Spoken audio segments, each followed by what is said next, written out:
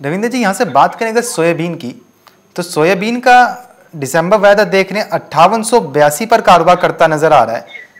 लगभग छह फ़ीसदी का ऊपरी सर्किट आज सोयाबीन की कीमतों में हम देख रहे हैं।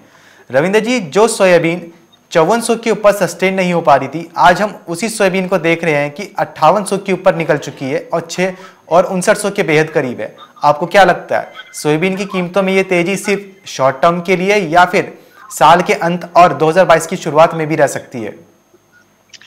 देखिए सोयाबीन की तेज़ी जो है ये शॉर्ट टर्म से मीडियम टर्म तक सस्टेन कर सकती है क्योंकि इसमें जो डिमांड है वो काफ़ी ज़्यादा इम्प्रूव हुई है ऑयल मिल्स की तरफ़ से और दूसरा इंटरनेशनली भी प्राइजेस जो है वो इंक्रीज हुए हैं क्योंकि एंडिंग हम्म। स्टॉक जो है वो कम है और उसी वजह से हम देख रहे हैं कि प्राइजेस में वो रिफ्लेक्शन देखने को मिल रहा है। अपर साइड में 6000 से बासठ तक की रेंज इसमें अभी भी देखने को मिल सकती है।